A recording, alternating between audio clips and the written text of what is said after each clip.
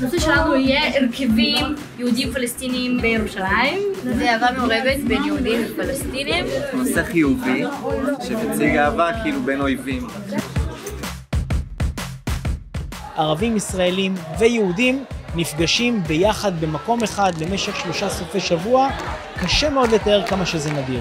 איך לעשות תקשורת הוגנת, איך לעשות תקשורת שהיא מקדמת שוויון, מחוקרת שאלות של יחסי כוח. זה בהחלט איזושהי אידיאולוגיה שנכנסה לי ללב, לנפש ולעשייה שלי. לתת כלים איך להעביר מסרים שיגרמו לאולי סיכוי לשלום פה במקום הזה. להגיע לשטח, שם לראיין את האנשים, לצלם בפועל. לדבר על סוגיות שהן באמת קשות ולנסות ככה להבין אחד את השני, זה יכול לגשר. איפה תופסת תוכנית החלוקה את הפלסטינים מג'באליה. בעיות התחילו מבחינתנו עם הקמת התנועה הציונית. המשתתפות והמשתתפים לומדים איך להפיק כתבה מקדמת עיתונות של שלום. זה יכול להיות טור דעה כתוב או טור דעה מצולם, סיקור של אירוע, כתבת תחקיר בווידאו, אפילו תוכנית רדיו. הסדנאות מונחות על ידי שני מנחים, פלסטיני, פלסטינית או אה, ישראלי יהודי. התוכנית הזאת עוזרת לעיתונאי צעיר לחלוק את החוויות של עיתונאי קצת יותר אה, ותיק. אם את חושבת שמישהו בעולם יאמין לגרסה.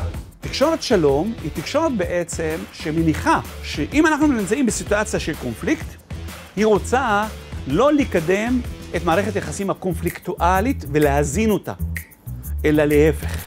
עסקנו בסוגיות הקונפליקטואליות הישירות של הסכסוך הישראלי-פלסטיני.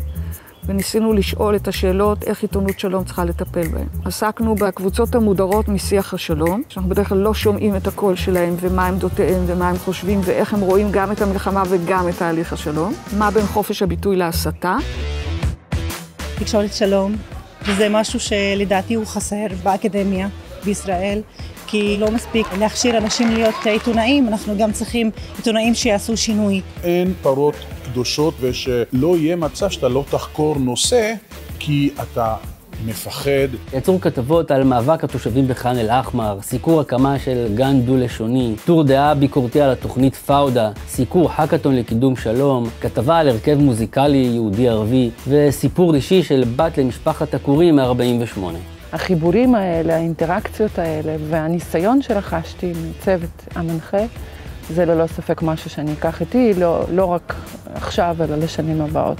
אני חושב שכל אדם שמתחיל בתקשורת, כדאי לו מאוד להיות כאן ללמוד את הדברים האלה, אין שום מקום אחר שאפשר ללמוד אותם.